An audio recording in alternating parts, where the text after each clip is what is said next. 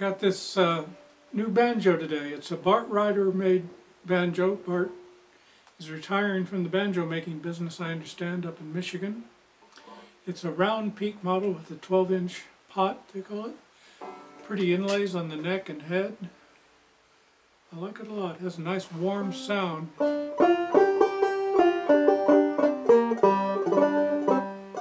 Even with this metal finger pick that I like to use, has a nice warm quality to it.